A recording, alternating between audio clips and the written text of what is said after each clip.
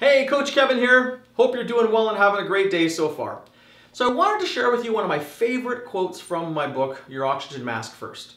And the quote is this, there is no in-between with leadership. It either slowly destroys your life or it forces you to get stronger.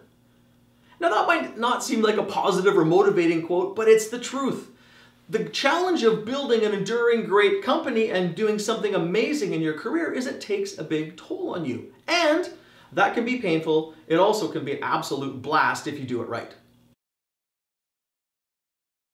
This is another quote from the book about work-life balance, which I think is an absolute silly concept. But here is the way I like to see it. You don't go to the amusement park roller coaster and say, I want to be balanced. No, you want to be as unbalanced as possible because that's the thrill of the ride.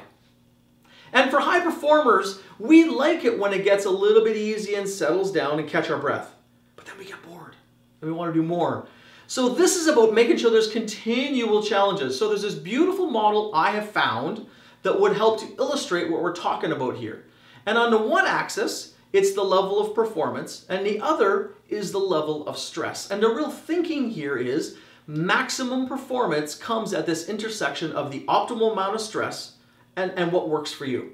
So if you look at the chart here, is that you'll see the green dot in the middle. That is maximum performance. Now, with this chart, it's not stable. It moves around to the left and to the right. If you go down and see the yellow star, that is safe place, easy place. There's not a lot of stress. There's also not a lot of performance.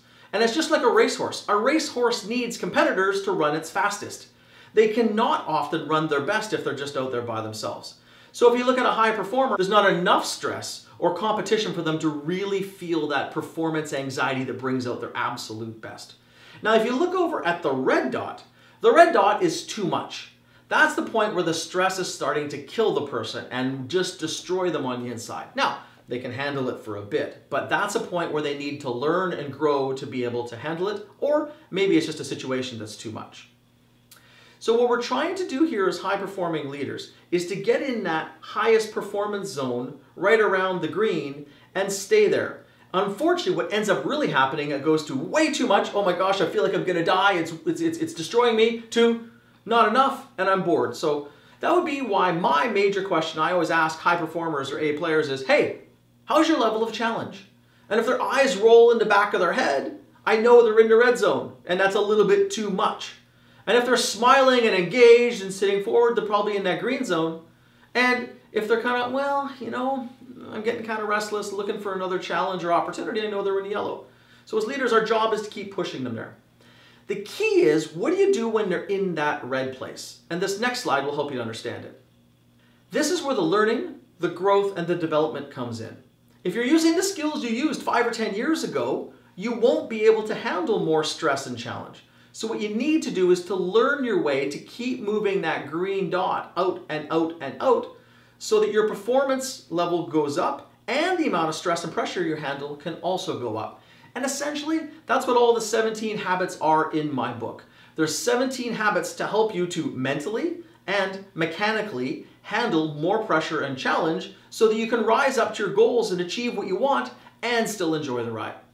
So, if you haven't already, go to lawrenceandco.com and go and do the oxygen mask self-assessment. You can allow yourself to rate yourself on those 17 habits and then figure out which one you need to do next.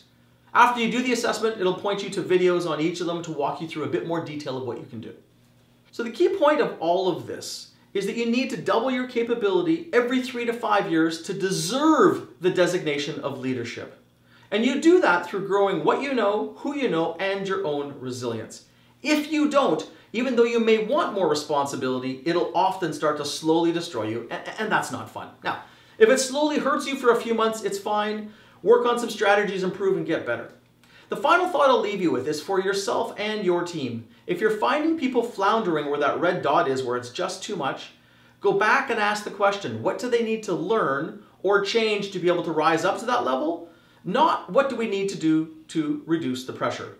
Our job is to give and take more pressure, but to learn better skills to do it. I hope that helps and I wish you well. If you have any questions, leave a question here. Otherwise, have a great rest of the day, rest of the week.